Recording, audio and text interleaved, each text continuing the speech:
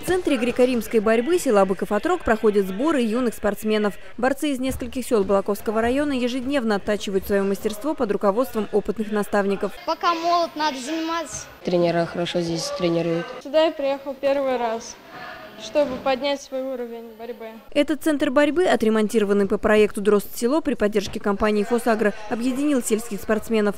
Там, где у нас сейчас работают спортсмены, подготовка. Очень большой сделали зал, 30 метров в длину, чтобы дети очень удобно работали.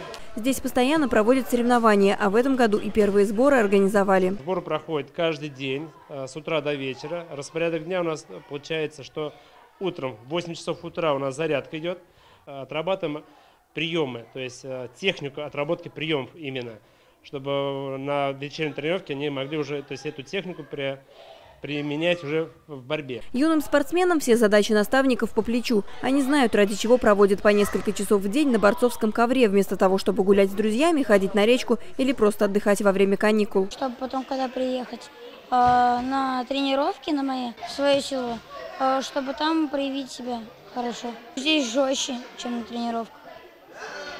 Здесь три тренировки в день, а там одна. Сборы – это не соревнования, и на ковре во время тренировок ребята скорее товарищи, чем соперники. Они помогают друг другу и поддерживают во всем, поэтому и три тренировки в день пролетают быстро. Время между ними борцы тоже проводят с пользой. На отдыхе мы сейчас занимаемся. Здесь у нас играют шашки, шахматы, в теннис играет, кто-то смотрит у нас телевизор. И телевизор не просто смотрит там какие-то каналы, а пройдем то есть про историю развития борьбы, какие-то мы смотрим сюжеты про борьбу. Шахматные столы во время отдыха борцов не пустуют. Ребята сражаются на доске с такой же целеустремленностью, как и на борцовском ковре, потому что польза этой игры королей очевидна. Думать головой.